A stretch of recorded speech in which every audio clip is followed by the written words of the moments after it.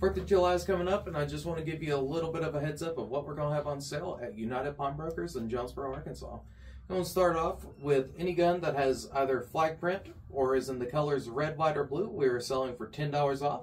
We also have 9mm streak ammunition from Ammo Incorporated. This is a non-flammable tracer, and it is awesome shooting at the night. Last thing we're going to have, any AR-15 purchase will include one free box of ammo and one extra 30-round magazine.